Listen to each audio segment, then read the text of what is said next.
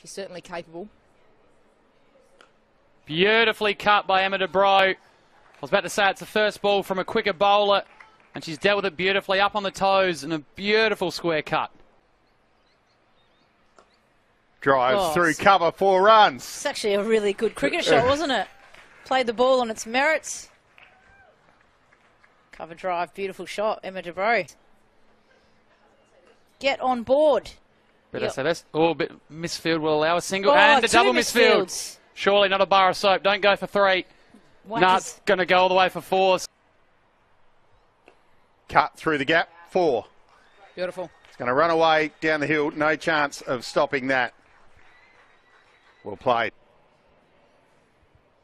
That one short and worked behind point this time for four more. Good batting from de Broughe. Short ball helped around the corner, and that will bring up a half century with a boundary. Great shot and well deserved, Emma de Broughe. She moves to 53. Well done. Outstanding. So good to see young Emma de Broughe